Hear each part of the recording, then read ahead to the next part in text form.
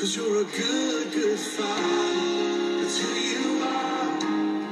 It's who you are. It's who you are. And I'm loved by you. It's who I am. It's who I am. It's who I am. Saint Joseph, foster father of our Lord Jesus Christ, and true spouse of Mary the Virgin, pray for us. The ninth day of our novena. Joseph, man of loving service.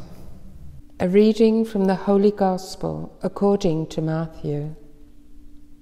Who is the faithful and far sighted servant whom the Master has put in charge of his household to dispense food at need?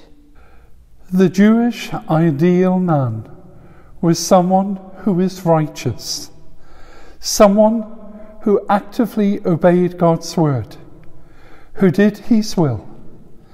Joseph acted instantly when he knew God's will. His was a life of loving service. He served his family. He served his village neighbours. He served his God. No wonder Christian piety has imagined his happy death in the presence of Jesus and Mary. May St. Joseph's example and intercession help us to grow in loving service in our families, in our places of work, in all our relationships. May we learn to wait in joyful hope for the coming of our Lord and Saviour, Jesus Christ.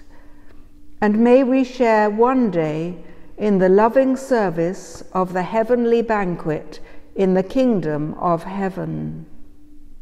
Almighty God, you have chosen Saint Joseph to be the mainstay of Jesus and Mary, the wise and faithful servant in whom they could trust.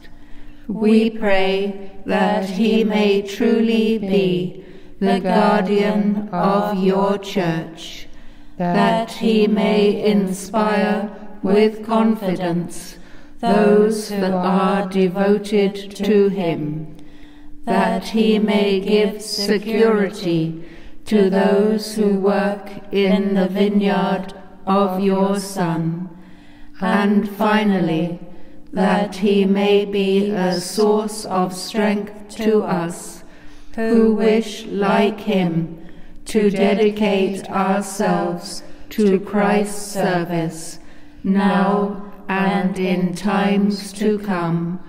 Amen. My friends, thank you, thank you, thank you for joining in this prayerful novena to this wonderful man, Saint Joseph, the universal protector of our church. Tomorrow, enjoy the solemnity of Saint Joseph. Thank you, thank you, thank you for joining us. Cause you're a good, good father.